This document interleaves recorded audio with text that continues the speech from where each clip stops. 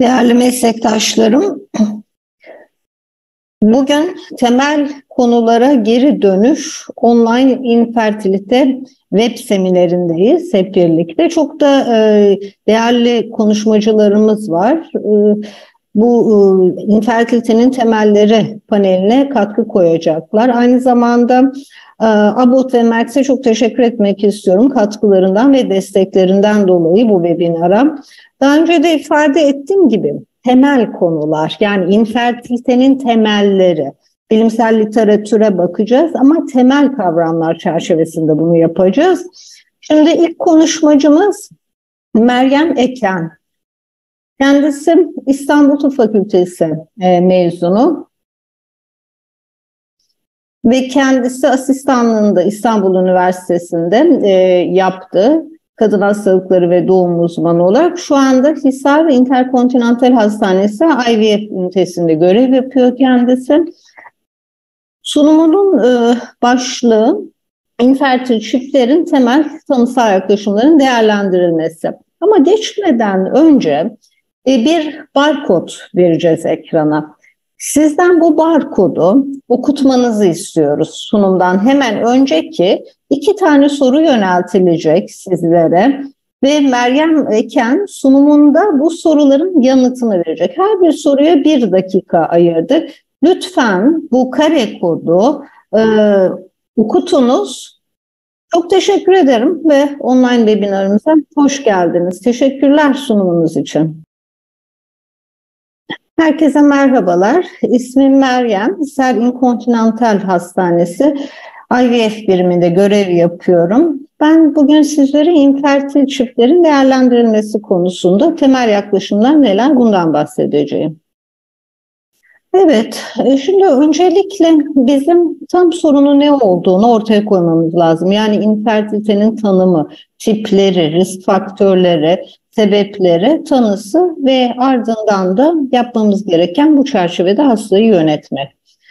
Öncelikle tanımı ortaya koyalım. İnfertilite dediğimiz zaman düzenli korunmasız cinsel ilişkiden 12 ay sonra e, herhangi bir şekilde klinik gebeliğin ortaya konulamadığı bir hastalık olarak ortaya konulur. Burada genelde ya kişinin kendi üreme kapasitesiyle ilgilidir ya da partneriyle ilgilidir.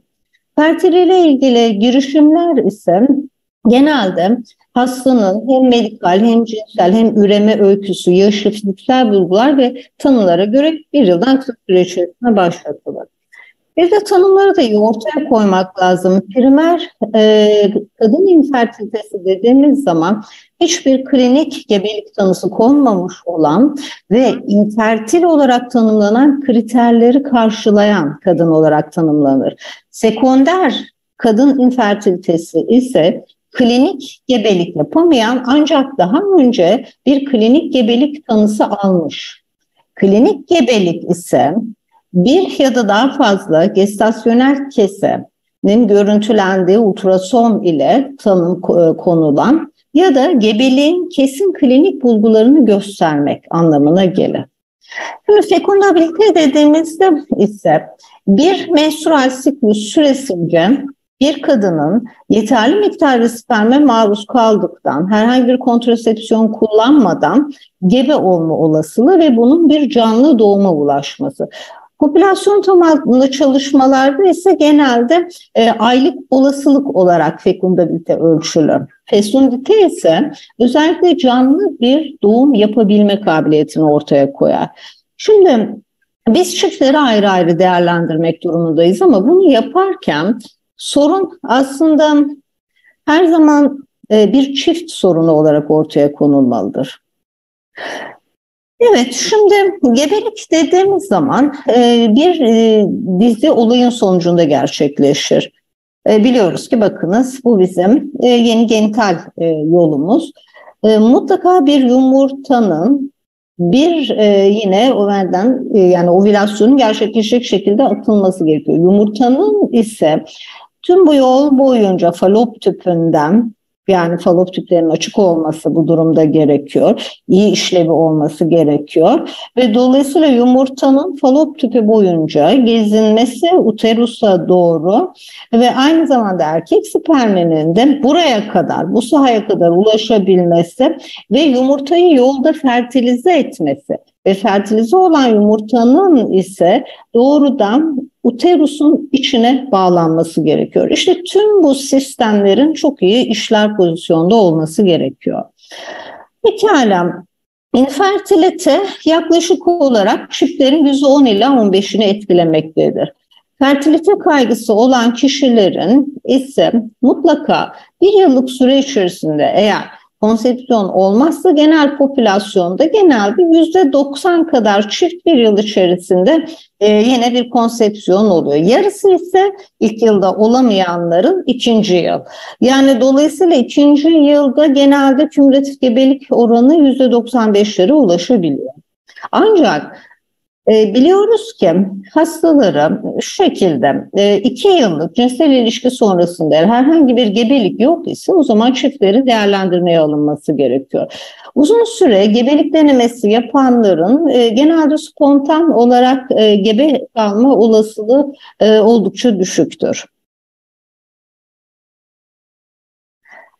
Ama e, elbette ki bu hastalarda e, mutlaka e, medikal öykülerinin çok iyi alınması gerekiyor.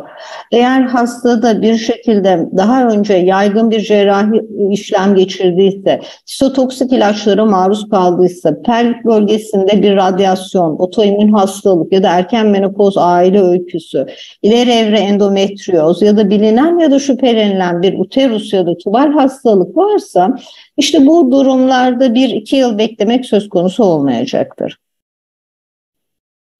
Şimdi genelde hastalarımız genelde hep şunu sorarlar. Ee, bir şekilde cinsel ilişkinin sıklığı zamanlaması ne? E, olmalı. Genelde çok sıklıkla hastalarımızın yönelttiği bir sorudur bu. Her e, iki ya da üç günde bir e, gebelik şansını artırır. Eğer ilişki sıklığı haftada bir ise o zaman bu durumda konsepsiyonun 6 aylık süre içerisinde olma olasılığı %17'dir. Ancak haftada 3 defa cinsel ilişki olması durumunda ise %50'ye çıkar. E, optimal aslında süre haftada 3 en iyi seçenek olarak ortaya çıkıyor. Bir de genelde zamanlaması da ilişkinin ikinci gelen sorudur hastalarımızdan. E, biz e, ne zaman cinsel ilişkide bulunmalıyız ki e, eğer e, bir, spontan bir gebelik yakalayalım diye sorarlar. Aslında ovülasyon hemen öncesinde ilişki gebelik şansını artırır. E, sperm kadın genital yolunda 5 gün kadar kalabiliyor. Ovumun yaşam beklentisi ise fertilize olmazsa yalnızca bir gündür. Yani fertilize olmazsa bir gün. Spermin de mutlaka e, kadının genital yolunda ya da ovülasyondan hemen önce yer alması gerekir. Dolayısıyla e, fertil aralık her bir siklusta yaklaşık olarak 6 gündür ki bu ovülasyon öncesi 5 gün artı ovülasyon günü olarak adlandırılır. Evet, e, bir de e, çevresel e, koşulları ya da diğer sağlık koşullarını da değerlendirmemiz lazım. E, biliyoruz ki tüm dünyada obezite en büyük sorunlardan bir tanesi, ciddi bir sağlık sorunu. Biz hastalarımızı da yine bu türden sorunlar konusunda bilgilendiriyoruz. Şimdi biliyoruz ki beden kitle endeksi 30 üzerinde olan kadınların mutlaka bilgilendirilmesi ve dolayısıyla gebe kalmalarının e, daha uzun süreceği ve tedavinin başarısını etkileyeceğini bildirilmesi gerekiyor. Bir de tabii ki özellikle genelde ne kadar diyelim tartı yüksek çıkarsanız IVF başarısı da aşağıya düşer. Yani böyle bir tartı olayı. Şimdi e, obez kadın ve erkeklerin çoğu biliyorsunuz fertil. Ama kadınlarda obezite ise ovülatör disfonksiyon, ile ilişkili. E, çünkü biliyorsunuz biz e, genelde polikistik over sendromu olan hastalarda biliyoruz durumu. Eğer beden kitle endeksi yüksek ise bu noktada ovülasyon oranı çok düşük oluyor.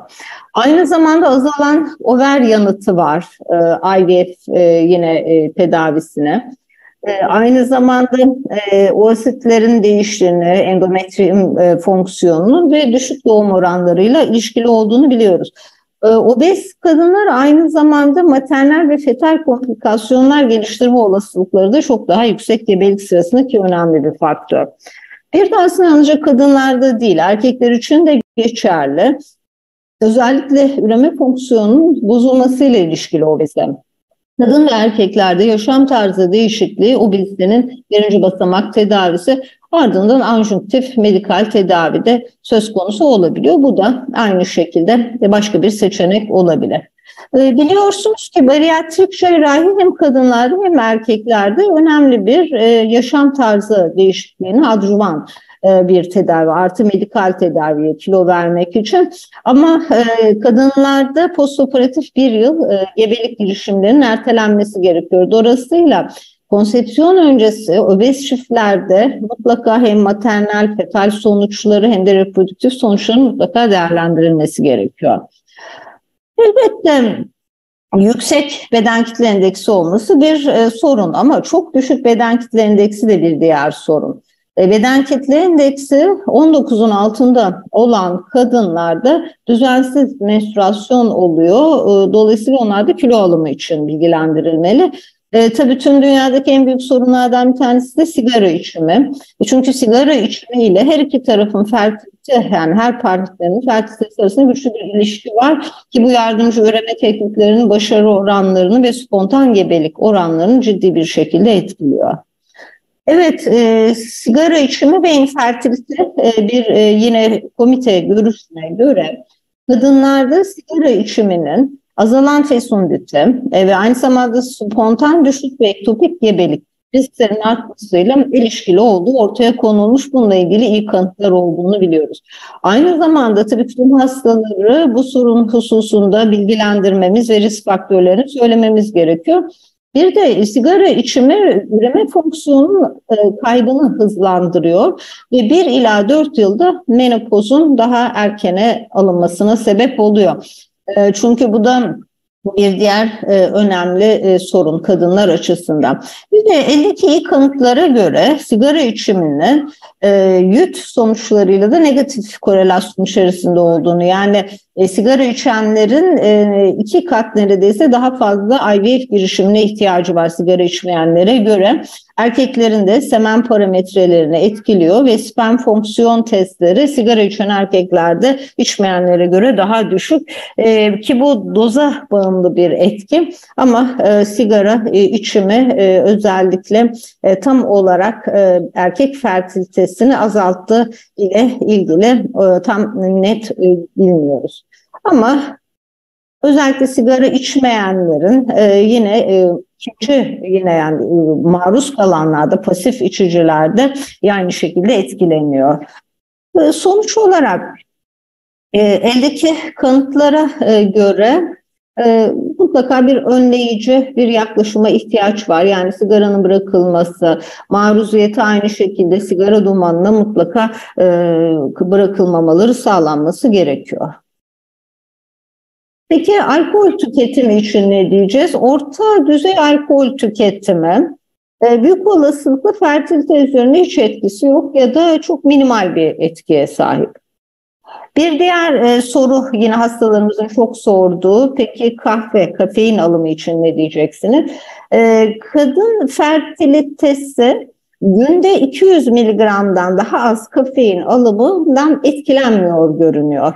Ee, genelde gebelik e, düşüncesinde olanların günde bir ya da iki e, fincan kahve içmesi uygun görülüyor.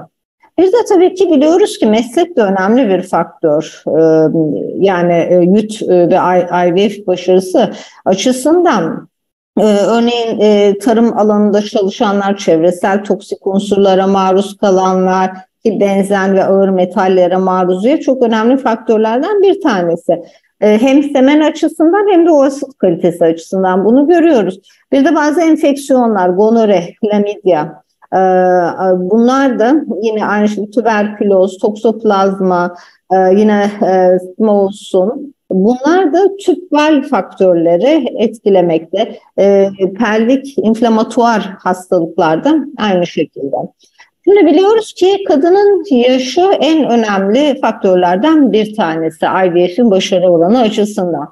E, çünkü genelde olasılıklar da yaşlanıyor ve miyotik e, olarak da tabii ki bir e, artış söz konusu. 40 yaşından sonra baktığımızda fertilite oranı %50 nispetinde düşüyor ve düşük oranında arttığını biliyoruz. Evet bir diğer soru ise beslenme konusu. Hastalarımız da yine de hep bize sorarlar e, beslenme konusunda ne yapmalıyız, ne yemek durumundayım diye. Elimizde diyet değişikliği yani vejeteryan diyet, düşük yağlı diyet, D vitamini, antioksidandan zengin diyetin fertiliteyi artırdığına ilişkin bir kanıt yok ama biz yine de hastalarımızda genelde az yağlı diyet deriz. Özellikle 25 üzerinde bir beden kitle endeksine sahiplerse. Evet şimdi infertilitesini görebileceğiniz üzere e, genelde bir ya da daha fazla erkek ya da kadın faktörünün bir sonucu. E, hem kadın hem erkek faktörleri aslında infertiliteden eşdeğer sorunlar. E, ve baktığımızda vakaların %20'sinde her iki faktöründe bir birleşimi söz konusu. Dolayısıyla her iki partnerin de değerlendirilmesi hususu çok önemli. Peki e, şimdi öncelikle kadın infertilitesinin sebeplerine bakalım. Over faktörü ilk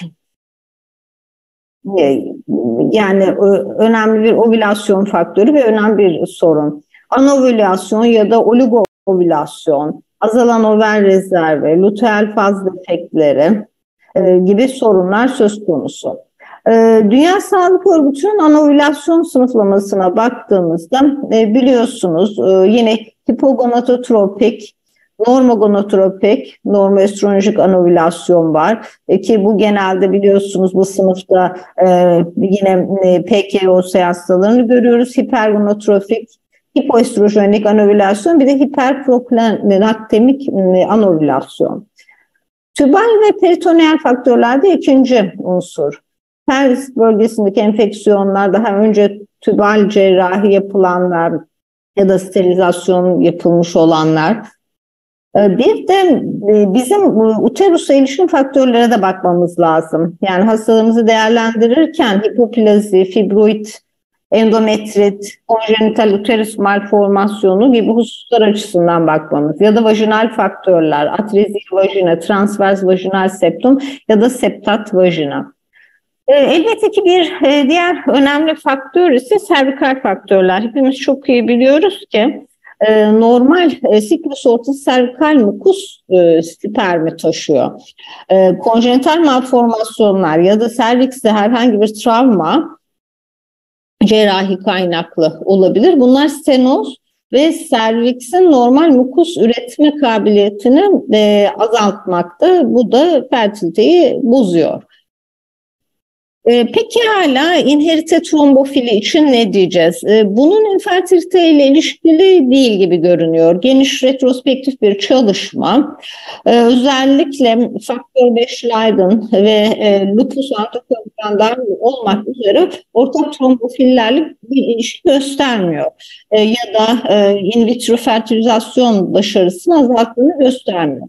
Bazı immün faktörler, antifosfolipid sendrom, e, bu da e, özellikle erken gebelik e, de immünolojik bir red ya da plasental hasara yol açabilir. E, bazı inflamatuar hastalıklar, çölyak hastalığı örneğin, e, bunlar da e, özellikle üreme anomalilerini e, sıklığını artırabiliyor ki bunu infertilite, e, düşük e, ve intrauterin büyüme gerili dahil.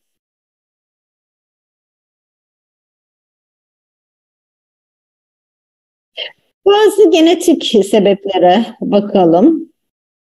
Ee, özellikle e, yine en yaygın anaploidiler, infertile ile ilişkili Turner e, sendromu kadınlarda, Klinefelter sendromu erkeklerde olarak sıralanabilir.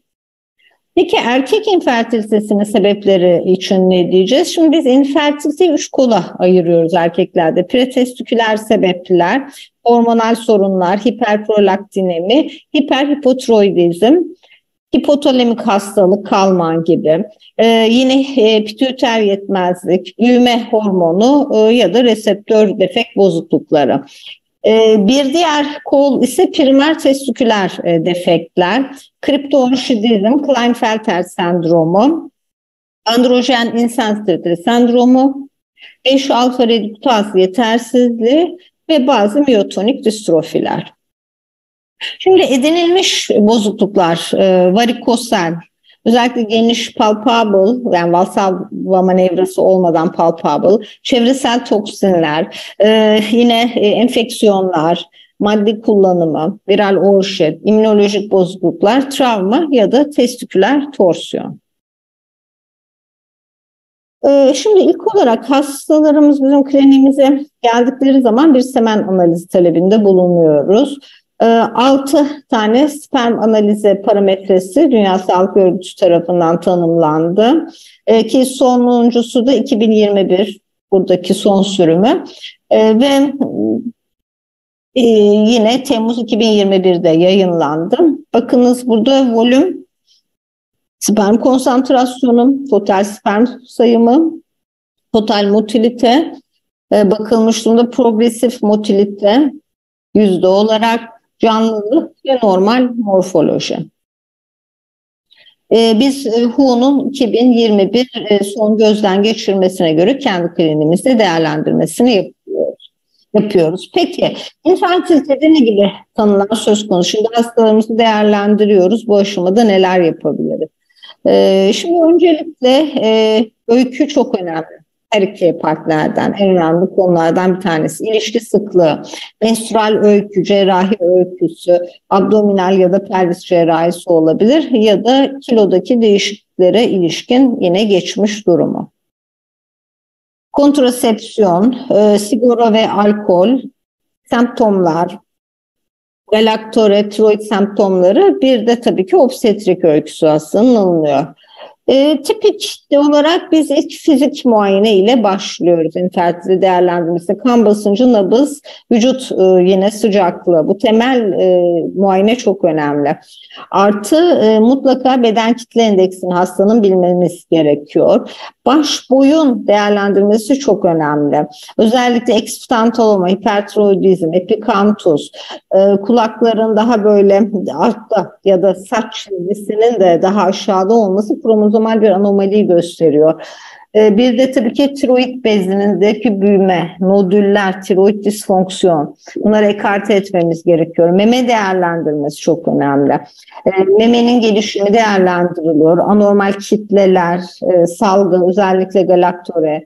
Bir de mutlaka abdominal değerlendirme yapmamız gerekiyor hastada. Daha önce de söylediğim gibi bazı malformasyonları ekarte etmemiz durumunda e, bazı kromozomal anomaliler ya da diğer konjenital defektleri bize gösterir. Dermatolojik değerlendirme de çok önemli. E, çünkü biliyoruz ki özellikle akne e, ya da hirşutizm varlığı polikistik over sendromuna ya da bazı konjenital yine adrenal hiperplazi olabilir. Yani bu türden disfonksiyonel hormonal sorunları e, mutlaka ortaya koymamız lazım. Yani yalnızca yüze bakarak çünkü bu türden e, durumlardan şüphelenip ona göre ilerlememiz mümkün. Elbette ki tabii jinekolojik muayeneye geçiyoruz. Spekulumda muayene. Birinci basamak e, muayene. E, bir e, jinekolojik e, yine alanda ya da IVF sırasında. E, tabii bu da pap smear e, testi. E, özellikle gonorrea, klamidya için test servikal stenoz değerlendirmesi, bir manuel yine muayene, özellikle serviksin yönü, uterusun boyutu pozisyonu e, ki böylelikle uterusta fibroid ya da adneksel, adneksel kitleleri ekarte etmek, hassasiyet pelvik modüller e, bir de tabii ki vajinal e, ya da e, sorunlara da bakmamız gerekiyor. Evet, şimdi ıı, tanısal testler de yapmamız gerekiyor. Normal ovulatuar fonksiyonunun belgelendirilmesi gerekiyor hastamıza. E, özellikle menstrual sikluslarını e, yani e, baş yazmasını isteriz başladığı e, günden itibaren. E, aynı zamanda Over rezervi için bir test yapılabilir. Yani jinekolojik muayene elbette yapıldıktan sonra e, tüplerin tıkanıklığını ya patensin açıklığını bakmamız gerekiyor. Aynı zamanda uterus kavitesini değerlendirmek önemli. Evet, tanısal testler. Şimdi over rezervi testleri gerçekten çok önemli e, YÜT e, kliniklerinde. Over rezervi çok önemli faktörlerden bir tanesi. Neden? Çünkü azalan over rezervi o asit kalitesi miktarını azaltır. Dolayısıyla üreme potansiyeli de azalır. Tabii ki over rezervini değerlendirmek için ideal bir test yok. Ama yine de birden fazla test birlikte kullanılarak en iyi tedavi ortaya konulabilir. Biz AMH testini her zaman kullanıyoruz kliniğimizde. Böylelikle over rezervinin tespitine gidebiliyoruz. AMH e, yine e, TGF beta familyasının bir üyesi ve preantral ve erken antral foliküllerde ekspresi oluyor. Ee, özellikle e, yaşla birlikte primordial folikal e, havuzda kademeli bir düşüş var oosit yani stimülasyon sonrası elde edilen oosit sayısı ile ilişkili e, ve e, zayıf ya da çok fazla over e, yanıtını öngördüren de en önemli bir o belirteç. Diğer testlerin aksine menstrual siklusun herhangi bir zamanda ölçülebilir ve siklus arası ve siklus içinde e, en az e, değişkenliğe sahip. Ee, bir de tabii ki diğer başka değerlendirmeler de söz konusu over e, rezervin. Transvajinal e, ultrason, over ve antral e, folikül sayımı için yapılabilir. Bu güzel bir tablo. Diyelim ki biz antral folikül sayısı, bunlar antral foliküller. Eğer her iki overde de 0 ila 4 ise çok düşük fonksiyonel over rezerv anlamına gelir ve çok az sayıda toplanabilecek folikül. E, dolayısıyla over stimülasyonuna e, kötü yanıt verme riski çok e, yüksek anlamına gelir. Gebelik şansı düşük. 5 ila 8 ise yani antral folikül sayısı düşük fonksiyonel over rezerve ya da az sayıda folikül toplanacak anlamına gelir. Bu da yine over stimülasyonuna düşük yanıt anlamına gelir.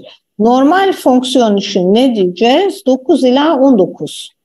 Bu e, over stimülasyonu normal yanıt beklentisini beraberinde getirir. Yani antral folikülleri e, eğer 20 üstü ise o zaman e, over e, yine hiperstimülasyon sendromuna yatkınlık anlamına gelecektir. Evet. Bir de biliyorsunuz e, histersalpinografiyi de HSG'yi de çok yaygın kullanıyoruz kliniklerimizde.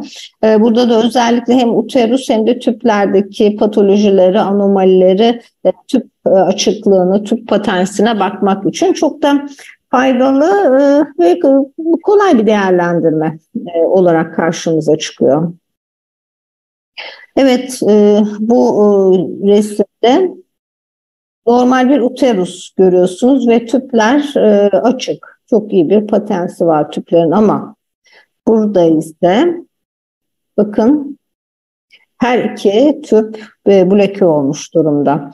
Bu da e, bir diğer fotoğraf. Şimdi sağ tarafta yine hidrosalpinx olduğunu görüyoruz. Bir diğer patoloji burada da bir uteron anomalisi var. Bazen böyle görebiliyoruz. Asherman sendromunda olabiliyor bu. Bu da bir e, diğer fotoğraf. Evet bazen e, yine uterus patolojilerinde görebiliriz bu şekilde septumda.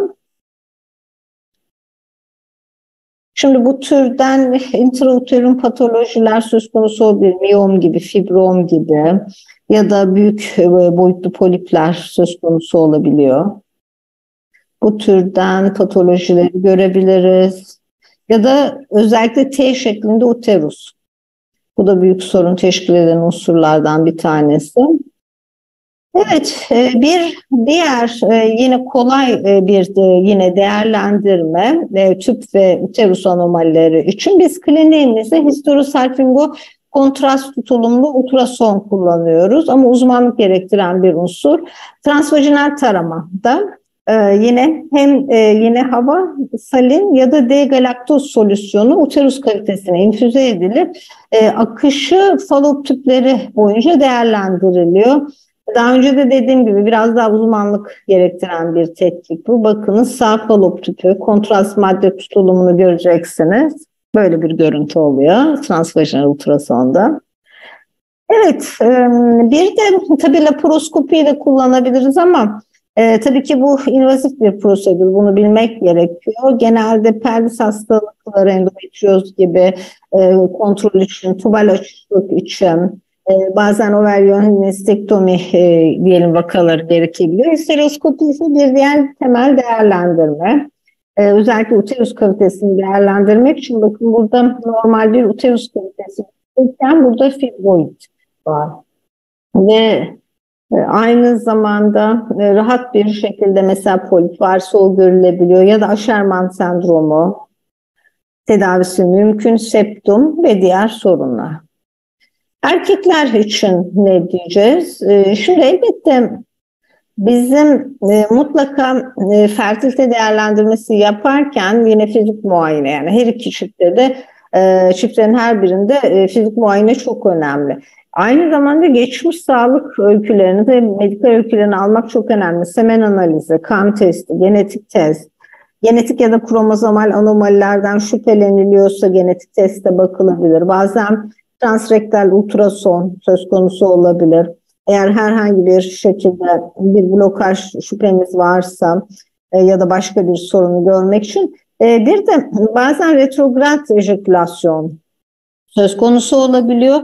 Ee, yine post-ejekülatuar idrar testi söz konusu olabilir. Semen analizinde azospermiye bakılabilir. Ee, dolayısıyla androloji bölümüne e, yine testiküler biyopsi için yönlendirmek mümkün olacaktır. Pekala yönetim için ne diyeceğiz? Danışmanlık yapmak, beklemek, sebepleri tedavi etmek, ovülasyon indüksiyonu, e, yapay inseminasyon, inseminasyon ve IVF şeklinde gidebiliriz. Dinlediğiniz için teşekkür ederim.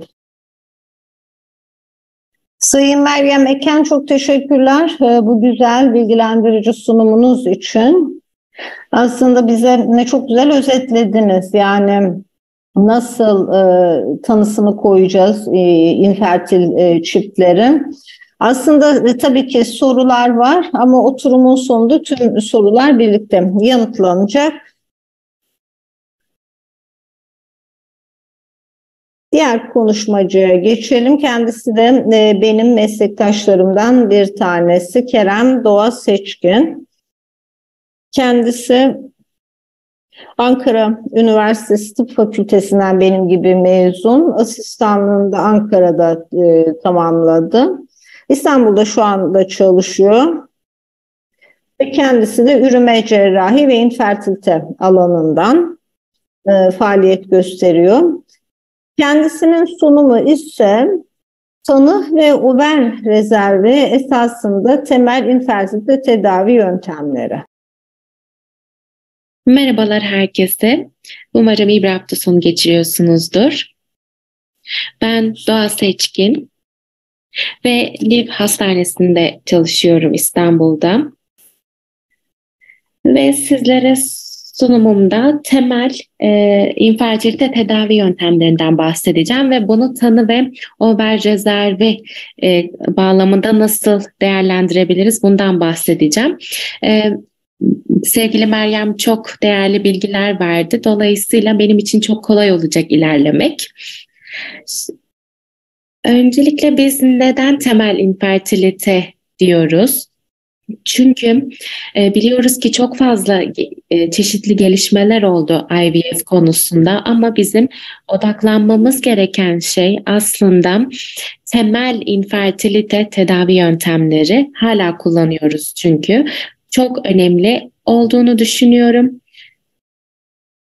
ve e, anatomiyi de temel olarak değerlendirmenin bize yol göstereceğine inanıyorum tedavi yöntemleri bağlamında. Temel e, tanıdan ve over rezervinden bahsedeceğim. Bildiğimiz üzere fekundite e, menstrual siklusun sonunda e, canlı e, bir e, aslında doğum olma ihtimali olasılığı ve bu da tabii ki korunmasız bir cinsel ilişkiden sonraki e, olasılığı ifade ediyor. Peki bizim gebelik için neye ihtiyacımız var? Baktığımız zaman e, uterusa, endometriyuma ve e, tübüllere baktığımız zaman normal bir kadın genital sistem anatomisine ihtiyacımız var. Ve aslında ovülasyon ve fertilizasyon e, şemasına baktığımız zaman ovülasyondan sonra gördüğünüz gibi çeşitli burada aşamalar mevcut ve temel olarak bizim bu adımları çok iyi biliyor olmamız gerekiyor yönetirken. Peki biz infertilite tanımı için ne söyleyebiliriz? Düzenli cinsel ilişki sıklığı yani haftada 2-3 kezden bahsediyoruz. Bir yıl boyunca e, ve 35 yaşından e, daha küçük olan e, kadınlarda ve bu tür çiftlerde eğer gebelik sağlanamıyorsa biz bunu infertilite olarak e, tanımlıyoruz ve da, e, kadının daha yaşlı olduğu, yaşça büyük olduğu durumlarda da 6 ay boyunca bu edinilemezse biz infertilite olarak tanımlayabiliyoruz. Peki infertilitedeki sorunların burada yüzdesine baktığımız zaman genellikle e, aslında %40 oranında kadın, %40 oranında erkek olduğunu görebiliriz ovülatör e, çeşitli hastalıklar burada devreye girebiliyor. Tübel faktör ya da uterin faktörler e, infertiliteye sebep olabiliyor. Ama bir taraftan bu temel e, tanıda karşımıza çıkmayan durumlar olabiliyor ve bu hastalarda, bu çiftlerde biz açıklanamayan infertilite olarak ele alabiliriz. Peki erkeklerde nasıl bunu değerlendirebiliyoruz? Spermiyogram testi var hepimizin bildiği gibi sizlere daha e, detaylı overyen e, rezerv konusunda da bilgi vereceğim. Ama aslında spermiyogram testinde bizim yaptığımız şey sorunun %50'sini e, görebilmeye çalışıyoruz. Baktığınız zaman sperm konsantrasyonu ya da normal morfolojinin %4 oranında e, örneğin normal olup olmadığını değerlendirmeye çalışıyoruz. Peki erkek infertilitesinin nedenleri neler? %42 oranında e, varikosel kaynaklı olduğunu söyleyebiliriz. E, erkeklerde infertilitenin çok önemli nedenlerinden biri. Peki erkeklerden kaynaklanan faktörlerin tedavisinde neler yapabiliriz? Biliyoruz ki e, TMPC oranının 5-10 e, arasında olması durumunda aslında e, gonadotropinlerle birlikte biz e, intrauterin inseminasyon uygulayabiliyoruz. TMPC'nin 5 olması durumunda da IVF ya da ICSI tedavisine başvurabiliyoruz. Çünkü IUI'nin burada e, intrauterin inseminasyonu çok faydalı olabileceğinden emin değilim. Ama TESE ve mikrotesede de azospermi e, vakalarında kullanabileceğimizi söyleyebiliriz. Peki uterin ve tüber faktörün tanısında karşımıza neler çıkıyor?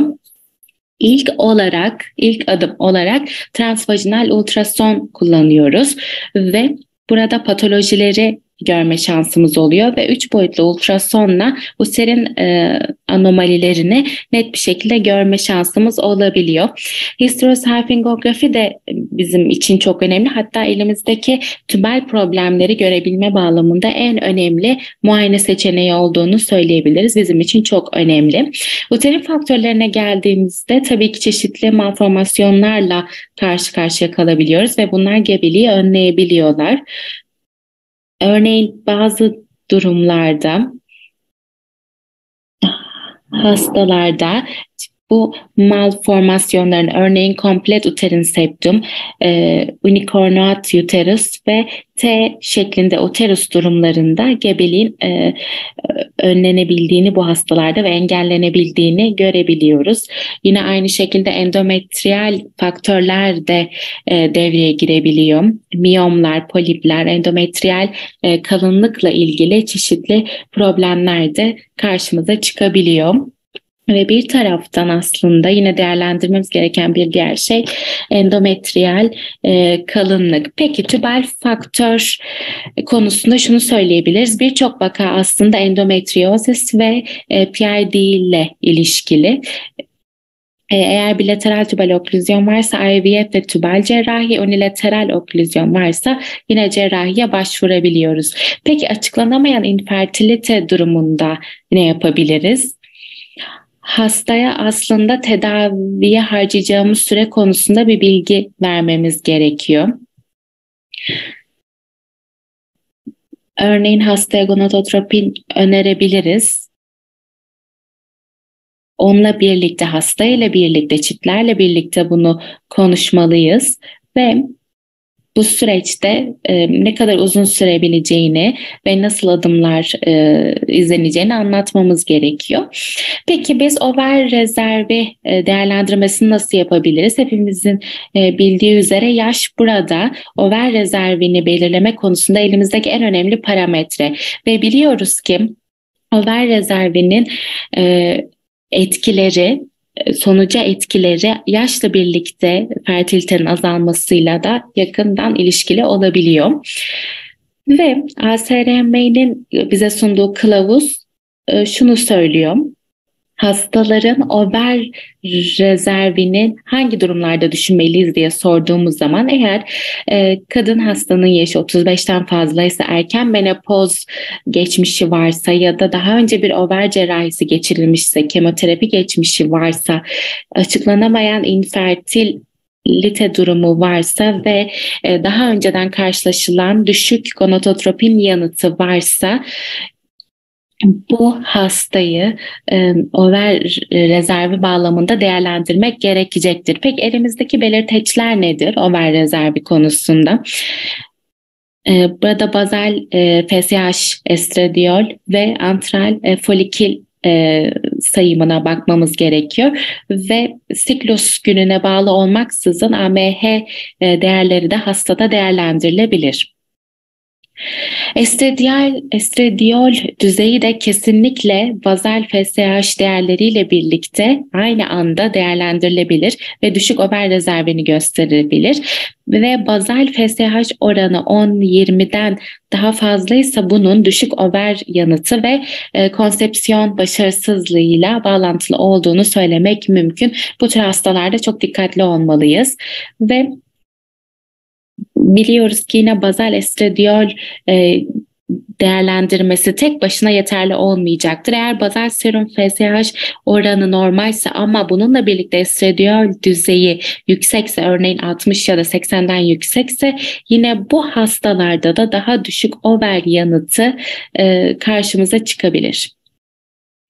Peki başka ne var elimizde over rezervi belirteçlerine dair? Biliyoruz ki antral folikül sayımı çok önemli. Eğer 2-10 milimetre foliküller varsa transvajinal ultrasonun gösterdiği ve bu özellikle de erken foliküler fazla karşımıza çıkıyorsa düşünülebilir. Ve bir taraftan da AFC oranının 3 ve 5'ten daha düşük olması düşük over rezervini gösterir ama gebelik başarısızlığına ilişkin bir belirteç değildir. Bununla birlikte antral folikül sayımının eğer 12 olması durumunda ya da bundan daha fazlaysa ve bu hastalarda PCOS görüyorsak bu bize aslında çok şiddetli oranda over stimülasyon yanıtı olabileceğini göstermekte. Peki elimizde başka neler var? AMH oranları çok önemli. Eğer düşük AMH oranı varsa örneğin birden daha düşükse bu bize daha düşük over rezervi ve yanıtını e, gösterecektir. Ve örneğin baktığımız zaman literatürde farklı e, limitler e, belirlenmekte AMH için. Bu sadece AMH ile ya da APC ile ölçülemez. Dolayısıyla bizim bunları, bu iki düzeyi kombine ederek değerlendirmelerimizi gerçekleştirmemiz gerekecektir. Biliyoruz ki elimizde ovülatör e, çeşitli hastalıklar da görülebiliyor bu hastalarımızda ve infertil kadınların %15'inde etiyolojisinde ovülatör hastalıkların görüldüğünü e, e, ve yine menstrüel düzensizlik de bunun bir belirteci. Dünya Sağlık Organizasyonu'nun sınıflandırmasına baktığımız zaman dört farklı grup var. Bizim aslında ilk olarak PRL düzeylerinin e, belirlenmesi ve ikinci grupta normogonadotropik normogonadizm ve üçüncü grupta hipergonadotropik hipergonadizmin görülebileceğini bilmemiz gerekiyor. Yine bahsettiğim tabloyu burada görebiliriz aslında sıklığına baktığımız zaman en sık ikinci grupta karşılaşıyoruz ve genellikle de bu grup üzerinde çalıştığımızı söyleyebiliriz. Tedavisinde de klomifen strata odaklanıyoruz. Yine e, bir sonraki slaytımda bundan bahsedeceğim. İkinci grup ve PCOS gerçekten ovülatör hastalıkların en sık görüldüğü grubu temsil ediyor ve anovülasyonun tanısında biz çeşitli metotlar kullanıyoruz. Örneğin serum progesteron e, düzeyi belirleme ve LH-PIK e, izlemesini e, gerçekleştiriyoruz. Aynı şekilde bazal vücut e, ısısını ölçüyoruz ve foliki, folikül rüptürü var mı bunu ultrasonografi kullanarak, ultrason kullanarak belirliyoruz ve serum progesteron düzeyini göstermek için aslında menstrüasyon döneminin 21. gününde bunun testlerini gerçekleştirebiliyoruz. Tedavide kilo kaybı bizim için çok önemli. Hastalarda %60 oranında arttırdığını görebiliyoruz. %5 ya da 10 oranında kilo kaybı olması durumunda. Ve ovülasyon stimülasyonu başka bir seçeneğimiz. Ovülasyon stimülasyonunu eğer hipo gonadotropik hipogonadizm olan hastalarda yani tip 1 hastalarda FSH ve LH çok önemli ve pulsatil GNRH terapisini uygulayabiliyoruz. Normal gonadotropik ovülasyon hastalıklarında yani tip 2'lerde de PCO, açıklanamayan infertilite ve düşük oranda erkek faktör infertilitesi olduğu durumda ovülasyon stimülasyona başvurabiliyoruz ve bizim amacımız burada tek folikül e, gelişimi ve ovülasyon. Tabii ki çoklu gebeliklerden kaçınma ve bir ya da iki ve bunların 16-24 milimetrelik foliküller e, olmasına dikkat ediyoruz. Yani 16-24 arasında olmasına dikkat ediyoruz. Bir ya da iki olabilir. Bu bizim için çok önemli ve kontrollü overyen hiperstimülasyon IVF'de ve buradaki amacımız 11 ya da 14 matür yumurtayı yakalayabilmek. Peki biz ovülasyon e, indüklemek için neyi kullanıyoruz? Hangi ilaçları kullanıyoruz? Klamifen bunlardan bir tanesi ve ve ovülasyon e, indüklenmesinden de tabii ki ilerleyen slaytlarda daha detaylı bahsedeceğim. Genellikle doz olarak 5 gün boyunca günlük 50-100 miligram arasında kullanıyoruz ve başlangıcımız genellikle e, menstruasyon döneminin 3-7. günü arasında ya da 5-9. gününde. Tabii ki farklı yan etkiler görebiliyoruz. Örneğin e, bulantı, kusma, görme problemleri, baş ağrısı ve ikiz gebelik oranı %10 olduğunu söyleyebiliriz. Büyük fibroid tümörleri olan, over kisti olan ve e, karaciğerinde problemleri olan hastalar hastalar için uygun olmayabileceğini belirtmek gerekiyor. Daha önce bahsettiğim gibi klomifen bu şekilde 5 gün sonrasında ovülasyonu örneğin yakalama şansımız olabiliyor ve menstruasyon 14. gününe tekabül ediyor bu. Yine başka bir ilacı da kullanıyoruz letrozol. Etki mekanizmasına baktığımız zaman aromataz inhibitörü olduğunu söyleyebiliriz. ve e, ovülatör hastalıkları olan hastalarda etkili olduğunu söyleyebiliriz. Klomifenle karşılaştırdığımızda canlı doğum oranının daha yüksek olduğunu görüyoruz. Endometriumda herhangi bir antiestrojenik etkisinin görülmediğini söyleyebiliriz. Ama e, teratojenik etkisi konusunda biraz şüpheler var. Değerlendirilmesi gerekir. Gonadotropinler daha önce de bahsettiğim gibi kullandığımız e, indikleme ajanlarından biri. Ve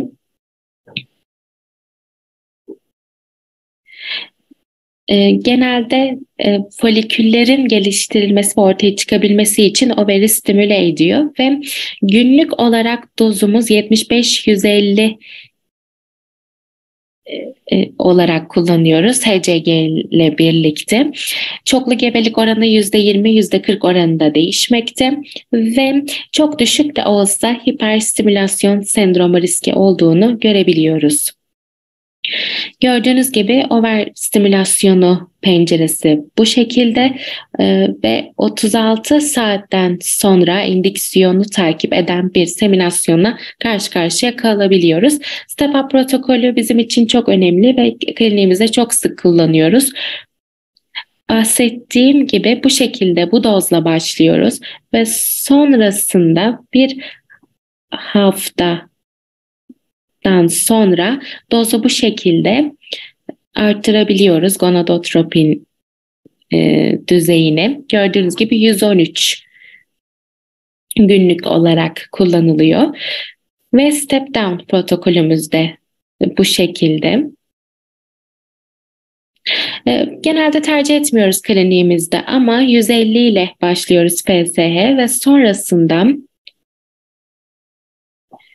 10. 10. günde menstruasyon 10. gününde bu şekilde e, pencereyi ilerletebiliyoruz. Peki düşük azalmış over rezervi için ne söyleyebiliriz? Biz gerçekten bu hastaları çok sık görüyoruz kliniğimizde ve konsepsiyonu elde etmeye çalışırken bizim AMH, AFC ve FSH oranlarına dikkat etmemiz gerekiyor ve bu üç kriterden ikisine e, özellikle odaklanmamız gerekiyor bu hastalarda. Peki biz ne yapıyoruz bu tür hastalarda? Doğal siklüsü e, natural cycle'ı tercih edebiliriz. Bir folikülü olan hastalarda ve eğer folikül büyüme oranı yeterliyse biz matürasyon enjeksiyonu yapabiliyoruz. Sonrasında e, cinsel ilişki ve IVF ile birlikte sonuçları elde edebiliyoruz. Bu tür hastalarda aslında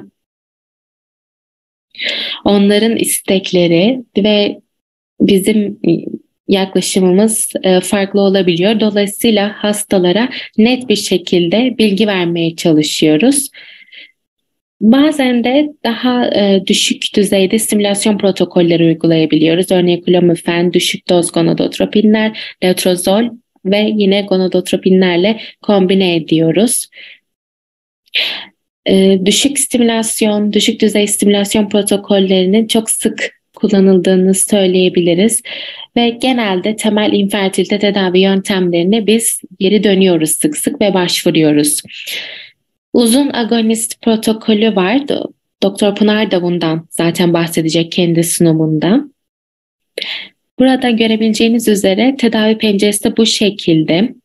21. günde agonisti 1-2 haftalık bir süreçte enjeksiyon e, yapıyoruz. Sonrasında agoniste devam ettiriyoruz günlük olarak.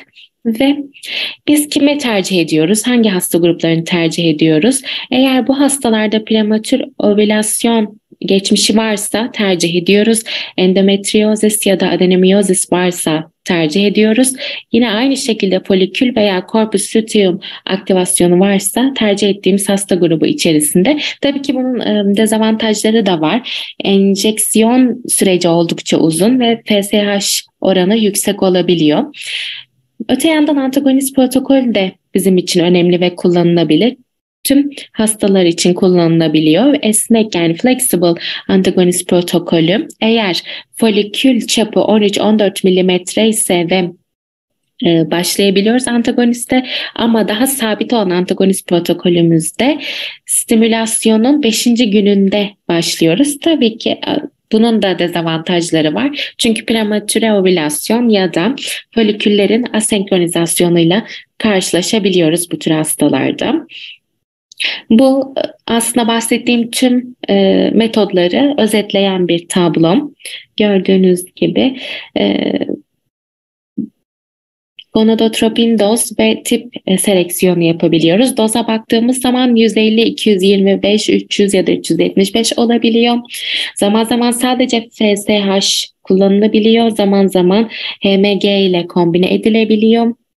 Rekombinan FSH aslında HPFSH'la e, yine eşit durumda olabiliyor ve dozu zaman zaman arttırmak ya da azaltmak gerekebiliyor. Peki biz nasıl ovülasyonu tetikleyebiliyoruz doz ve tip e, bağlamında?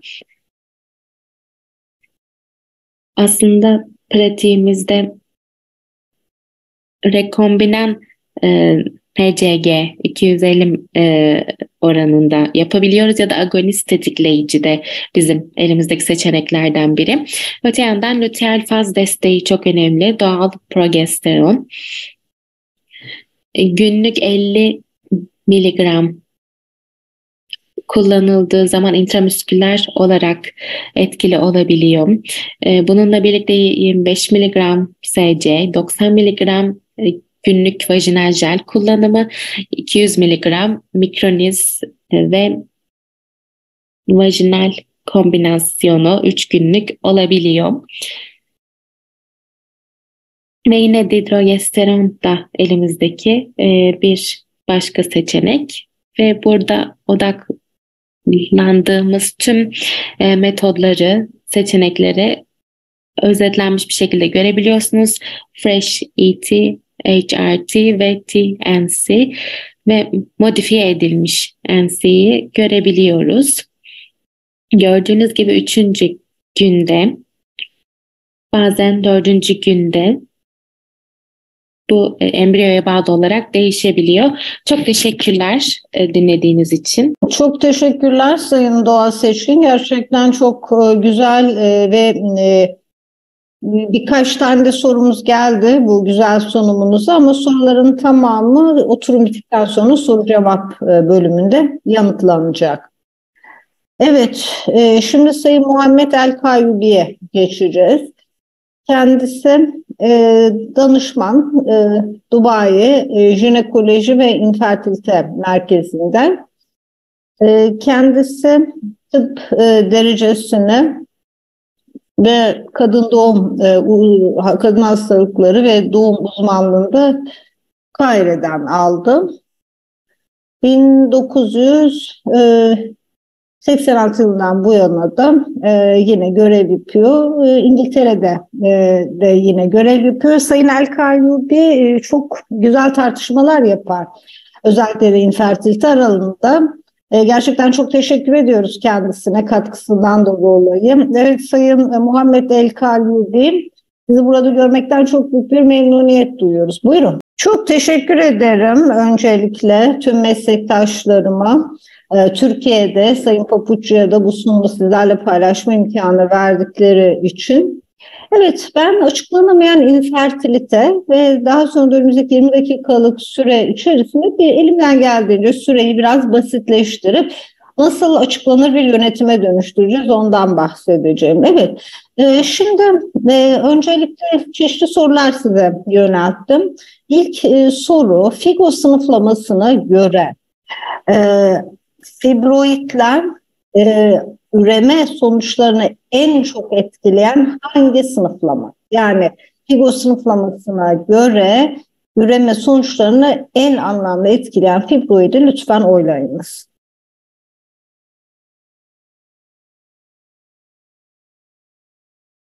Tamam, bir sonraki soruya geçiş yapmak istiyorum şimdi.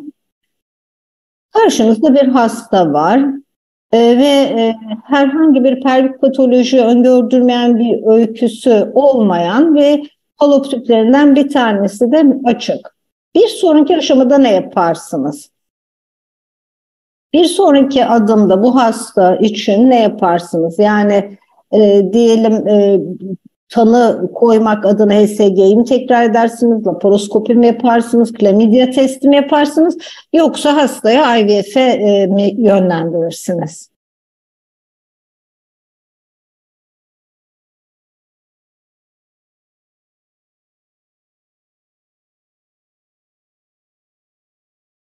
Bir sonraki. Evet geçeyim artık sunumuma. Herhangi bir çıkar çatışması beyanım yok. Şimdi açıklanamayan infertilite dediğimiz zaman aslında basit. Ee, yani bir çift e, korunmadan cinsel ilişkide bulunuyor. Bir yıllık süre içerisinde kontrasepsiyon e, yani herhangi bir bilinen patoloji de yok ama herhangi bir şekilde gebe kalınamıyor. Nedir karşımızda? Ya ne, diyelim ovülasyon normal olabilir, erkeğin normal sperm parametreleri tüpler açıktır. Şimdi ne oluyor? Her zaman böyle değil. E, ve tam olarak nasıl sınıflayacağımızı da bazen bilemiyoruz. Yani bir tane overi olan hasta, tüplerinden bir tanesi açık, fibroid ya da polipleri var.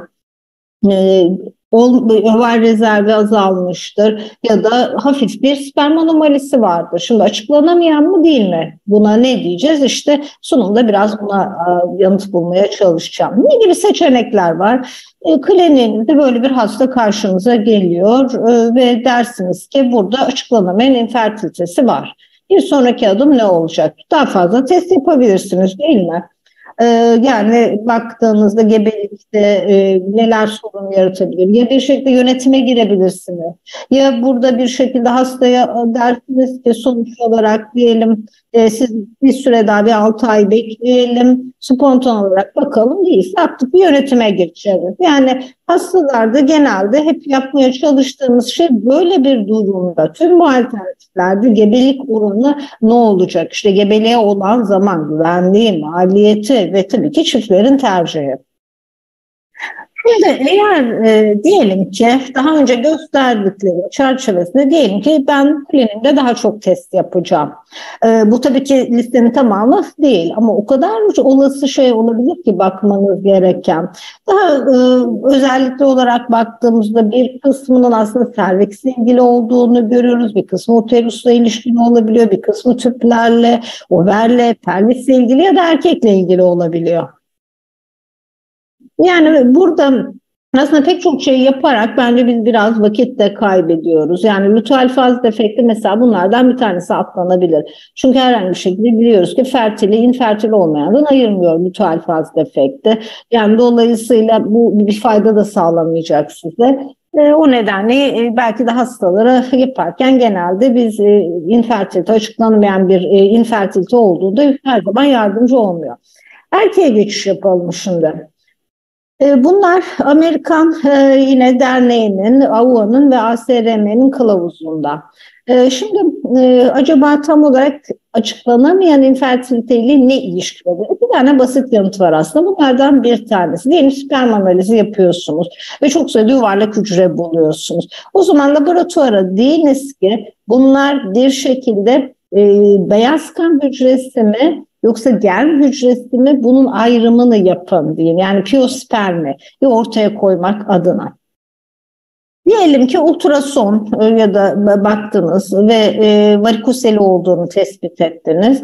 E, burada varikoselektomi yapmayınız. Yani mutlaka palpable olması lazım. Yani dolayısıyla palpable varikosel değilse non-palpable'larda varikoselektomi yapmanın gebelik oranlarının artırmadığını biliyoruz. Peki biraz daha ileri bir şey yapalım, daha fonksiyonel. Yani sperm DNA e, yine fragmentasyonuna bakalım. Ne oluyor? Bu hasar anlamına geliyor. Yani sperminin DNA'sında belirli bir hasar var. Öyle olduğunda teorik olarak demek ki bu gebeliği etkiler derim. Ama buradan yine e, Kanada Derneği'nin aynı zamanda Amerikan Derneği'nin ve aynı zamanda Amerikan e, yine Üreme Derneği'nin de bize söyledikleri bunu yapmayınız. Yani sperm DNA fragmentasyon testi hem e, prognostik değeri yok hem de maliyetli bir test. Yani dolayısıyla bunda etkisi olmadığı ortaya konuluyor. Yani artık IVF mi olacak, IUI mi olacak öneriliyor. Şimdi e, şöyle belki temele inmek lazım burada e, sperm analizi konusu. Hepimiz biliyoruz ki sperm analizinin de yine kötü bir prognoz testi olduğunu biliyoruz. Yani dolayısıyla şunu yapabiliyoruz. Bu işte diyelim normal bir sperm analizi değil demek ki. Bu da gebelik üzerinde etkiliyor. Bir tek bunu söylüyoruz ama sperm analizini acaba nasıl yapmalıyız ki böylelikle açıklanamayan infertilite açısından bir anlam taşısın ve tedaviye e, yönlendirsin bize. Bir yayın var Dave Kuzan'ın 20 yıl kadar öncesinden çok da güzel bir çalışma. E, şimdi şöyle bir otörün sonucu var e, ve şunu söylüyor. Diyor ki eğer hafif bir sperm anomalisi varsa ve yalnızca bir parametre hafif e, yine anomali varsa bakıldığında iki parametre ya da üç parametreye göre aslında infertilite oranı artıyor. Yani dolayısıyla demek hastanıza söyleyeceksiniz senin bir tane hafif sperm anomalin var. Yani dolayısıyla bakıldığında IUI'yi düşünebilirsin ama mesela 3'e çıktığında gebelik oranı iyice düşecek. Çünkü baktığımızda infertilite oranı çok daha yukarı çıkacağı için o zaman daha farklı e, bir e, aşamaya geçilebilir. Bir diğer konu ise şu, bu da çok eski bir çalışma aslında ama çok da iyi bir çalışma. Burada total e, yine sperm sayısından bahsediyor. Şimdi burada yine çeşitli diyelim gebelik oranları nedir sperm sayısına göre? Şimdi toplam normal sperm sayısı ne göreceksiniz? Ejakülatta bulunan bunu ejekülatta bulunan yine progresif motilite, motilite ile çarpılıyor. Yani total sperm sayısı çarpı progresif motilite.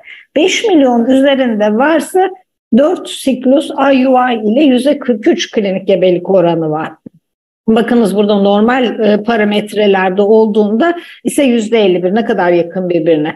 Yani demek ki yapılması gereken şey erkek faktöründe dikkate alacak şekilde nasıl sınıflayacaksınız e, bunu değerlendirmek. Her iki tarafı da. Şimdi varikosel, palpable bir varikosel varsa e, ya da diyelim piyospermi çok fazla olabilir. O zaman bu noktada üroloğa tedavi için yönlendirebilirsiniz. Palpable varikoseli onarabilirsiniz ya da sperm analizine bakacağız ve yine total e, yine sayı ve to, e, progresif motiliteye bakarak hafif ya da anormal ya da normal sonuç şeklinde değerlendireceksiniz. Hastaya da burada diyelim spontan beklenebilir, IUI denilebilir ya da parametreler birden fazla ise de IVF'e doğru gidilebilir. Şimdi genelde IUI tek başına söylenince fark ne? E, bunu ne şekilde hastaya anlatacağız? Şimdi e, ejekülatta diyelim 15 milyon ya da e, var. Ama tabii ki sayı ne oluyor? Bizim genelde gördüğümüz bin kadar olabiliyor. Yani çünkü 15 milyon çıkış oluyor ama siz bunu bine kadar düşürüyorsunuz. Ama IUI yaptığınızda 1 ila 10 doğrudan tübe ulaştırmış oluyorsunuz. Yani e, ulaştırdığınız sperm sayısını yani motil sperm özellikle yumurtanın etrafında olacak sayıyı artırıyorsunuz tek başına IUI yapınca fertilizasyon şansını artırıyorsunuz. Genelde şöyle bir soru sorulur. Ben acaba diyelim inseminasyonu bir kere mi yaptıracağım, kaç kere yaptıracağım? Yani diyelim aynı siklusta iki defa yaptırma gibi. Her hasta için değil e, bunu. E, yani e, şöyle ki diyelim açıklanamayan infertilite açısından bakıldığında bir trend var. Yani gebelik oranı artırdığına ilişkin. Ben ne yapıyorum? Şipler geldiğinde bir ya da iki siklus.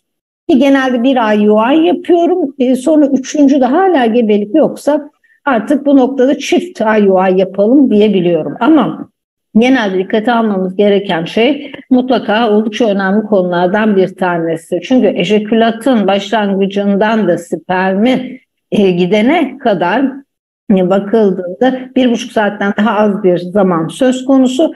Dolayısıyla 90 dakikanın altında kaldığında o süre artırıyor. Şimdi literatüre bakalım. E, hepimiz polipler görüyoruz tabii uterusta e, ve dolayısıyla bunları gördüğümüz zaman burada bir Cochrane'in sistematik derlemesini görüyorsunuz. Bir tane randomize kontrollü çalışma bu. Biraz da ihtiyatla değerlendirmek lazım ama yine de sonuç şunu gösteriyor. Eğer ortalama polip büyüklüğü 16 e, milimetre ise bu noktada gebelik oranı açısından etkili. E, şimdi şu söylenebilir, bunun altındaysa ne olacak? Yani 16'nın altındaysa ne yapacağız? Çok da yanıt verilemiyor bununla ilgili. Yani çünkü e, yapalım, alınsın alınmasın diyenler arasında ama benim genelde yaptığım şey çok küçük bir polip ise ve uzun süreli bir infertilite söz konusu ise bir implantasyon, tekrarlayan implantasyon kaybı ya da e, yine gebelik kaybı varsa o zaman histeroskopi düşünülebilir ve histeroskopik olarak da poliplerin alınması değerlendiriliyor. Fibroidler için ne diyeceğiz? E, bu da yine aynı şekilde farklı tavsiyeler var bununla ilgili olarak. Hem Amerikan Derneği, Kanada Derneği'nin görüşlerini göreceksiniz. yine ASRM'de dahil olmak üzere hepsinin söylediği şey aslında. Yani yani burada yeterli kanıt olmadığı ifade ediliyor. Yani hem boyutları hem yeri açısından spesifik bir tanım ortaya konulamıyor. Yani elbette ki burada olasılığı e, düşürdüğüne dair değil. Yani dolayısıyla bir taraftan çünkü siz uterus kalitesine de zarar verme olasılığınız var. E, e, bakınız sayılar olarak gösterilmiş durumda. Sol tarafa odaklanırsanız uterusun içerisinde miyomlar Yine burada 0, 1 ya da 2 dediğiniz zaman e, bunlar yine özellikle kalite açısından önemli. E, bunun mesela çıkarılması söz konusu olabilir. Yani e, dolayısıyla e, aldığınız zaman e, belli oranda bir zarar yaratıyorsunuz. Yani diğerleri için biraz böyle bırakma düşünülebilir. Ama e, yani intramural olarak ne kadar içeride olduğu da çok önemli. Yani dolayısıyla ikisi arasında mutlaka bir denge oluşturulması gerekiyor. Laparoskopi için ne diyeceğiz? E, diyelim açıklanıyor infertilitesi olan bir hastayın Amerikan Üreme Tıbbı Derneği'nin e, pratik komitesinden bu. Laparoskopinin e, rutin değerlendirmede tavsiye edilmiyor. Ama ne zaman? Yani diyelim bazı durumlar var ve bakıyorsunuz ki bir patoloji, bir pelvis patolojisinden şüpheleniyorsunuz. Hastada ağrı öyküsü vardır, derin isperoni vardır, ismenoresi çok şiddetlidir, pelviste bir enfeksiyon vardır, çok uzun süreli bir sekonder infertilite vardır. Ee, bunların hepsi dikkate alındığında düşündüğünde ama onun dışındaki hastalarda belirli tür e, yine e, normal değerlendirme yapmak yeterli olacaktır. HSG yapmak yeterli olacaktır. Dolayısıyla e, HSG ilk olmalı. Ama yine de ultrason gerçekten bakıldığında İster iki boyutlu ister üç boyutlu olsun yüksek bir tanısal aslında doğruluğu da var. Özellikle üç boyutlu ultrasonun. Çünkü bu demek ki bize planlama açısından hastanın gelecekteki yönetiminde dikkate almamız gerektiğini e, ortaya koyuyor. Senaryomuza geri dönelim. HSG'yi diyelim ki tekrar ettiniz e, ve e, follow-up tüpü bir tanesi tıkalı ne yapacağız? Yani bu bir tüp açıksam tekrar mı edeceğim HSG'yi? Hayır diyoruz. Neden? Sensitivitesi düşük. Spesifitesi yani biraz daha yüksek ama çok değil. Hatalı negatif oranı yüksek. Yani dolayısıyla benim bu denli yine e, tekrar e, maruz bırakmama gerek yok. Yani yalnızca aslında bildiğinize teyit olur. Laparoskopi için ne diyeceğiz? Buna nasıl yanıt verebiliriz?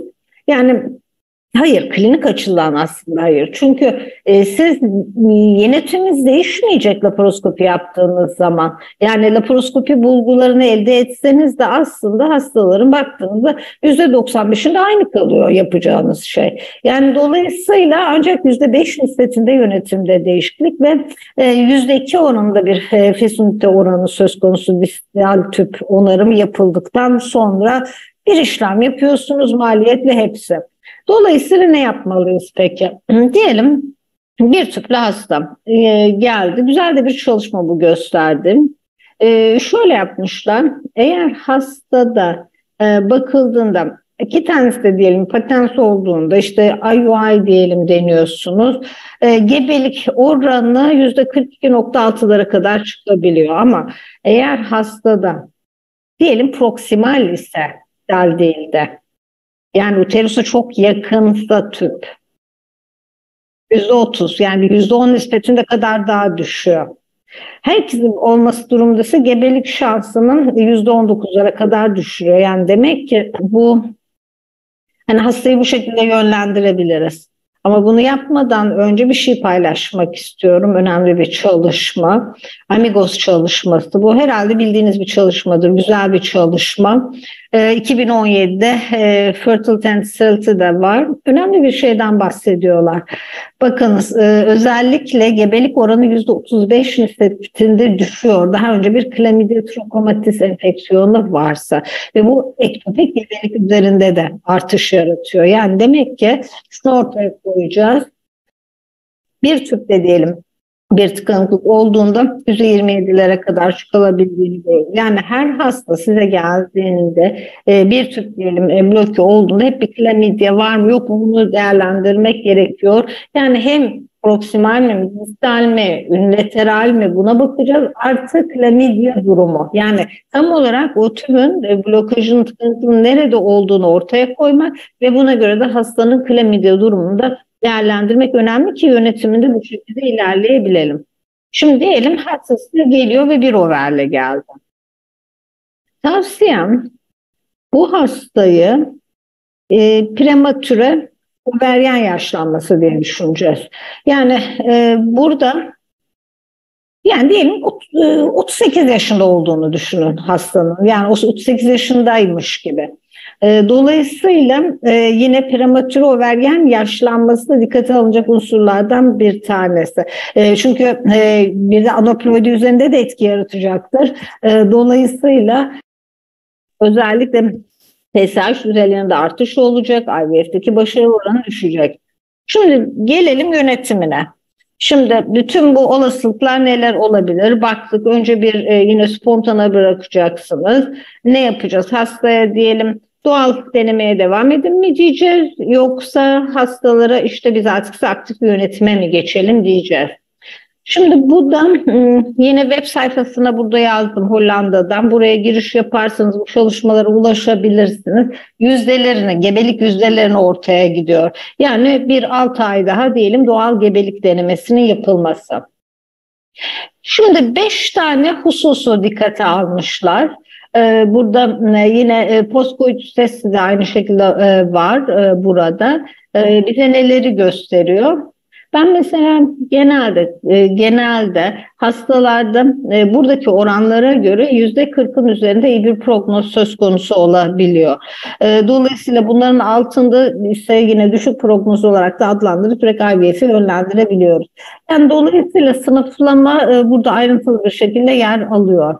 Yani şunu söyleyebilirsiniz tabii ki işte bu yüzde yirmi, yüzde kırk nereden çıkıyor diyebilirsiniz ama ben kendi verilerimden bahsediyorum burada. Yani kendi klinik pratiğimdeki verilerimin yansıması buradaki oranlar. Yani dolayısıyla aktif yönetim yapılacaksa e, mutlaka önce bir konservatif e, yine yönetimle denemek söz konusu oluyor. Bazen tabii ki spontan gebelik de e, daha fazla oluyor. Yani sonuçlara bakmak lazım. Herkesin kendi kliniğindeki gebelik oranları da önemli. Yani hasta için kabul edilebilir oranda tabii ki dikkate alıyoruz. Ama benim bir sonra göstereceğim şey aslında şu, biraz daha e, yine fesunitenin iyileştirilmesi için neler yapılabilir. E, bunun ben çünkü spontan gebelik açısından önemli olduğunu düşünüyorum. Bizim genelde sormamız gereken sorunlar var. İşte ben ne zaman ovülasyon olacak? İşte cinsel ilişkini ne zaman yapmalıyız? Şimdi benim genelde söylediğim şey bu konuda farkındalık yaratmak. Yani mukus diyelim olması önemli. Ee, yani dolayısıyla e, kadın için e, deneme e, durumuna bağlı. Yani bir şekilde mukusun varlığı, mukusun kalın olup olmaması bunlar önemli. Dolayısıyla mümkün olduğunca bazı çalışmalarda da bunu gösteriyor. Daha iyi bir servikal mukus önemli. İlişki sıklığı da bir diğer husus. Ee, biz e, genelde aslında bir şekilde spermi de etkilememesi gerekiyor. Yani spermi etkileyecek düzeyde. Mesela günlük esasla yapıldığı zaman bakıldığında yine haftada bire göre olasılığı artırıyor. Ama bakıldığında e, özellikle haftada bir şekilde yapıldığında oldukça ciddi düşüşler söz konusu. Bir genelde şunlar sorulur. E, bazı e, diyelim lubrikanların kullanımı yardımcı olabilir mi? Bunların e, yine sperm parametreleri üzerinde herhangi bir zararlı etkisi gösterilmemiş durumda. Çünkü hastaların genelde aktif yönetimde olanların dahi aslında sorduğu sorular. Peki ne yapacağız? Aktif yönetim mi yoksa e, spontan mı beklenecek? Şimdi sistematik derleme, bu da 2020 tarihli bir sistematik derleme. Ve şuna bakılıyor burada. Bazı kişiler herhalde aktif yani bir, bir doğal e, siklusa bırakmakta IUI olabilir. E, IUI mi IVF mi yapalım noktasında iyi prognoz e, ya da yüksek fesunite, düşük fesunite göre bakılacak. Yani e, burada yapılması gereken şey tüm hesaplamalara göre. Ama aslında basit indirgemek adına şunu söyleyebiliriz. Eğer yüksek bir fesunite varsa Bu noktada spontan beklenebilir e, ama sperm anomalisi hele birden fazla ise IUI tek başına yapılabilir ama düşük sefesünde o zaman ovülasyon indüksiyonu e, yine intraüterus inseminasyon e, artı IVF olarak ilerlenebilir. Şimdi IUI noktası özellikle kaç tane sorusu gelir? Bu e, yine e, Wayne Dollar'ın bir çalışması. Burada randomize etmiş. 500'ün üzerinde hasta iki kola ayırmış. Bunlardan bir tanesi e, daha hızlı kol, bir tanesi de standart tedavi. E, burada e, yine e, 6 siklus yine yapıldıktan sonra 6 siklus IVF bir tarafta var. Burada da bir tarafta 3 e, FSH artı IUI şeklinde. E, dolayısıyla açıklanamayan infertilitesi olan kadınlarda eğer 3 siklus CC artı IUI'den sonra konsepsiyon yoksa e, bakıldığında e, daha az maliyetli olduğu görülüyor diğerine göre. Bu noktada IVF'e doğru gitmek lazım. Dolayısıyla bir hasta var karşımızda 35 yaşında üstünde ve infertilite süresi 3 yılı aşmış, açıklanamayan bir infertilite söz konusu ise e, yaptığınız hesaplamalara göre verilerine bakacaksınız hastanın geçmişinde dikkat olacak şekilde IVF'e geçiş şeklinde denilebilir. Çünkü diğer modalitelerde çok yüksek bir şansınız olmaz. Yani genelde hep bakımdan önce genel bir tavsiye e, veriliyor hastalara e, ve kısa süreli ise e, ve yüksek fesonrite var ise o zaman daha çok bir 6 ay bakalım ondan sonra tekrar görüşelim, düşünelim deniliyor. Bir şey eğer yeni bir sonuç elde edemezsek e, ki bir özellikle hasta diyelim hafif endometrioz vardır, ablasyon yapılabilir, bir tüp vardır, proksimal blok vardır, klamidyem negatif e, olabilir. E, ona göre e, yine yönetimi ayarlarken iyi sonuçlar, iyi bir gebelik elde edilebiliyor. Ama diyelim ki bunlar da özellikle over rezervi düşükse bir over varsa, bir tüp varsa, ortaya da distal blok, proksimal blok, artı pozitif klamidyası düşük fesünte deyince o zaman IVF'e gidin şeklinde diyoruz seçenek olarak hastalara. Ne demek gerekirse açıklanamayan infertilite kolay değil. Ama yönetimini birazcık daha e, sizin genelde kendi verilerinize göre hareket etmeniz lazım. Yani e, baktığımız hastalar karşımıza geldiklerinde e, onlara elimizdeki araçları sunabilmemiz lazım. E, çünkü hangi karar verecekleri de çok kolay olmuyor. E, dolayısıyla e, hastalarda hep erkek faktörünü lütfen unutmayınız. E, çok da basit bir şey. Daha önce söylediğim gibi birkaç tane parametreye semende bakmak yeterli. Dolayısıyla mutlaka çiftler bir bütün halinde değerlendirilsin. Dinlediğiniz için teşekkür ederim. Çok teşekkürler. Ee, Doktor Elka Yubi gerçekten harika ve çok öğretici bir sunum oldu ve e, bize çok değerli ipuçları sundu. Özellikle de açıklanaman infertilitenin yönetiminde. Çok teşekkürler. İlk oturumumuzu bitirdik. Tüm konuşmacılarımıza teşekkürlerimi sunmak istiyorum. Biliyorum bugün cumartesi ve herkesin e, planları var e, ama birkaç sorum olacak. Aslında tüm bu sarılar dört konuşmacımıza da e, yöneltilecek. Cevaplarınızı rica ediyorum. Çok kısa ve açık bir şekilde belirttiniz. Biz antimülleryen hormon testini e, siklüsün herhangi bir zamanı içerisinde acaba ölçebilir miyiz? Evet, biz kendi kliniğimizde over rezervi testini AMH'yi ve antral folikül sayımını yapıyoruz. Ama tabii ki eğer transvajinal ultrasonda antrafolikül sayımında eğer normal olduğunu görürseniz tabii ki bence bu anlamda AMH'yi ölçmenize gerek kalmayacaktır. Ama tabii ki yaş da burada e, devreye girmeli diye düşünüyorum. Çok teşekkürler. Doğa siz ne düşünüyorsunuz?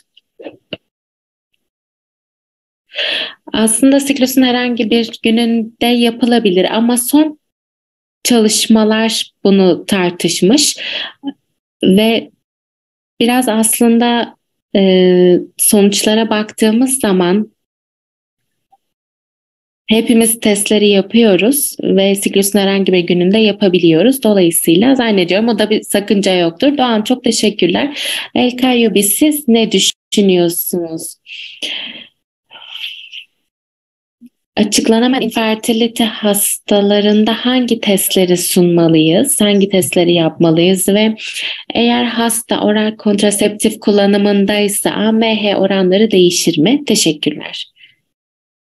Çok güzel bir soruydu. Çok teşekkürler. Şunu söyleyebilirim ki AMH'yi düşüren bazı durumlar var. Bunlardan biri de kontraseptif kullanımı ve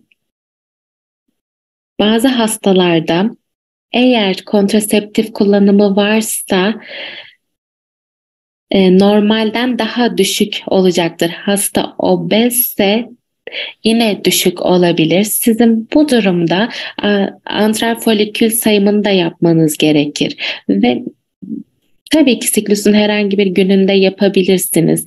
Çünkü siz aslında küçük e, antral foliküllere bakıyorsunuz. Dolayısıyla yapılabilir. Ama öte yandan antral folikül sayımından bahsedecek olursak aslında e, foliküller zaman zaman hareket değişebildiği için e, tabii ki farklı günlerde de bunu yapabiliriz. AMH ve antral folikül sayımı konusunda benzer prognostik faktörlerin devreye girdiğini söyleyebiliriz. Dolayısıyla bizim burada ultrasona her zaman güvenmemiz gerekiyor diye düşünüyorum ve tüm hastalarda bunu yapmalıyız. Özellikle de açıklanamayan infertilitesi olan hastalarda eğer düşük over rezervi varsa onları 6 yıl ya da 1 yıl boyunca bekletemeyiz. Dolayısıyla e, olanakları harcamadan onlara doğru bir tedavi seçeneği sunmalıyız. Umarım cevap verebilmişimdir ve uzun sürmemiştir. Çok teşekkürler. Çok teşekkürler El Tayyubi. Açıklamanız için çok teşekkür ederiz. İkinci soruya geçelim. Doğa Seçkin'e bir sorum var. Kendisi bu konuyla ilgili. Bizim anovülatör hastalarda ilk seçenek e, ne olmalı tedavi konusunda? Klomifen mi olmalı? Aromataz inhibitörleri olmalı mı? Bu konudaki düşünceleriniz nedir? Sesiniz kapalı. Bildiğiniz gibi aslında çoğunlukla klomifen stratı kullanıyoruz. Ama aslında son zamanlarda letrozol da kullanabiliyoruz hastalarımızda. Burada hastayı izlemek ve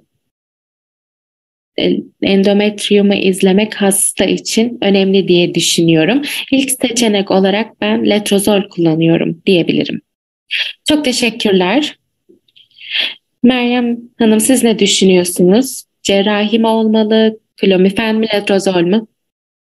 Kesinlikle yaşam tarzı değişikliği bizim için çok önemli. Çünkü hastaların genellikle vücut kitle indeksi çok yüksek oluyor. Ve dolayısıyla bu tür faktörleri değerlendirmenin çok önemli olduğunu düşünüyorum.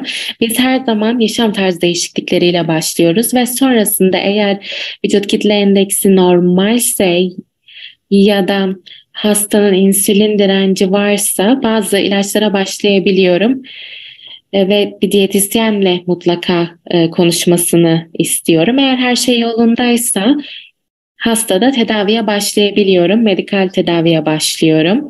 Letrozol bence daha iyi bir seçenek. Çünkü yan etki e, profilinin daha düşük olduğunu görüyoruz.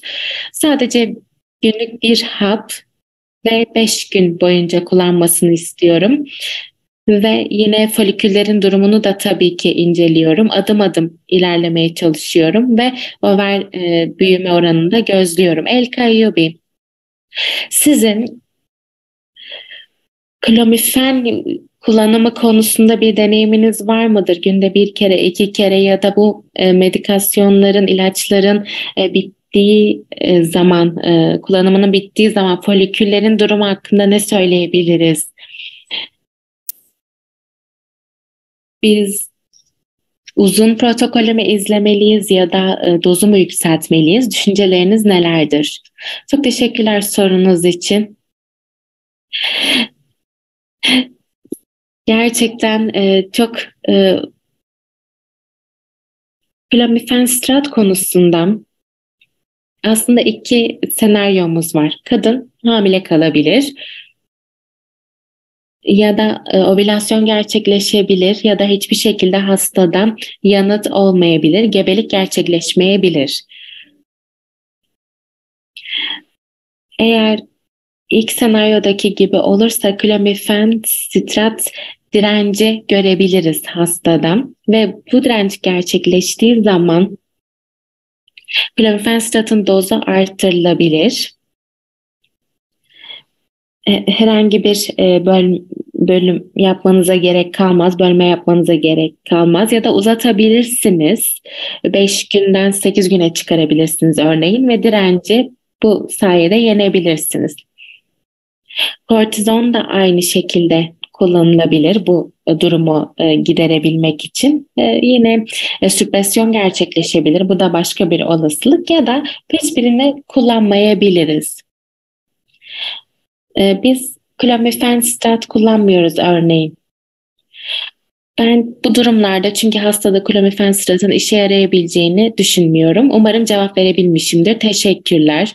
Son sorumuz LKYB'ye e, aslında. Onunla başlayalım.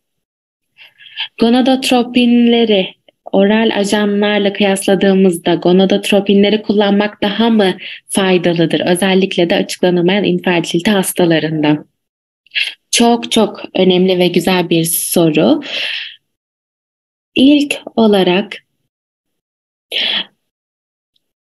gonadotropinler e, yüksek gebelik oranları sunacaktır. Ama zaman zaman hastalarda daha farklı e, sonuçları görebiliyoruz. Eğer riski yüksekse hastada ve çoklu gebelik söz konusu ise letrozol diyebiliriz.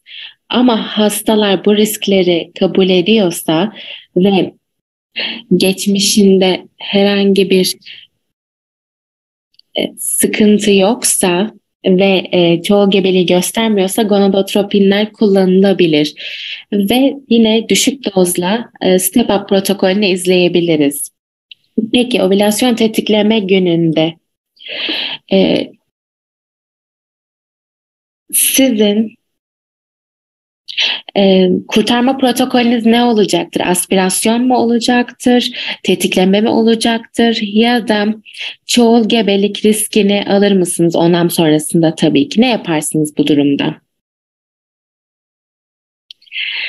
Çok aslında sıkıntılı bir konu, zorlu bir konu bahsettiğiniz gibi. Burada hastalara kesinlikle çoğul gebelik konusunda bilgi vermeniz gerektiğini düşünüyorum. Çünkü çok riskli olabiliyor. Ve tabii ki hangi ovülasyon ilacının kullanıldığı da çok önemli. Çoğu gebelik özellikle de 300 gebelik durumunda gonadotropin kullanıyor diyelim. Hastanın e, kesinlikle riskler konusunda bilgilendirmesi gerekiyor. Eğer kabul ediyorsa e, kabul edilebilir. Bazı kişiler aspirasyon da yapılabilir diyor ama belki de bu riski artırıyor ve hastayı daha çok ekspoze ettiğimizi, maruz bıraktığımızı düşünüyorum. Dolayısıyla benim yaklaşımım bu şekilde. Son sorumuz şu olacak. Klamifenle başladık. Günlük 50 miligram ve hastada bilateral overyen kist görüldü. Peki bizim ikinci doz optimizasyonumuz nasıl olmalı? Dozumuz ne kadar olmalı? İlk olarak 50 mg'lık klomifen ovülasyon indüksiyonu için ve sonrasında bilateral overyen kistle karşılaşıyorsunuz ve siklüsü sonlandırdınız. Bu durumda doz planlamanız, tedavi planlamanız aynı hasta için nasıl olacaktır? Özellikle de kist oluşumunu engellemek için neler yaparsınız? Belki de oral medikasyon ya da enjeksiyon kullanabilirim. Düşük dozlarla enjeksiyona başlayabilirim bir sonraki adım olarak. Ovülasyon indüksiyon protokolü ve siklusu olarak ben bu durumlarda protokolü değiştirirsiniz yani evet. Seçkin siz neyi tercih edersiniz? Ben öncelikle aspirasyonu düşünebilirim ve sonrasında protokolü değiştiririm. Ve Doktor Eke'nin söylediği gibi e, düşük doz gonadotropin kullanabilirim. Doktor Ekayu biz sizin e, yaklaşımınız ne olurdu bu senaryoda? Kist oluşumu konusunda aslında zamanlama önemli. Yani kistin oluşma zamanını dikkate almalıyız ve buna bağlı olarak klomifenstat kullanabilir miyiz diye değerlendirmemiz gerekir. Ee, örneğin agonistler ya da antagonistler burada devreye girebilir ve klomifenstratın uzun süreli kullanımını da tabii ki değerlendirmemiz gerekir. Eğer eğer 4 haftada bu kist oluştuysa ben burada seçeneğimi değiştirebilirim. Eğer iki haftalıksa örneğin iki haftalık sürede oluştuysa burada corpus luteum da değerlendirilebilir. Eğer normalden daha büyükse belki klomifen stratı bir sonraki siklusta kullanabiliriz. Ama ne kadar az kullanırsak o kadar daha iyi olacaktır diye düşünüyorum. Umarım cevap verebilmişimdir. Çok teşekkürler. Şimdi oturumu kapatabiliriz. Çok teşekkürler katkılarınız için. Değerli konuşmacılarımıza, Profesör Kayyubi'ye, Eken'e, e, Seçkin'e çok teşekkürlerimi sunmak istiyorum değerli katkıları için.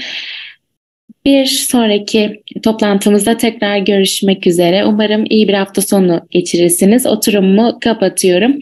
Ve bir sonraki oturumumuza 15 dakika sonra başlayacağız ve Profesör Pınar Özcan'la başlayacağız. Ve yine sizlere barkodları göstereceğiz ve 15 dakika sonra görüşmek üzere. Çok teşekkürler.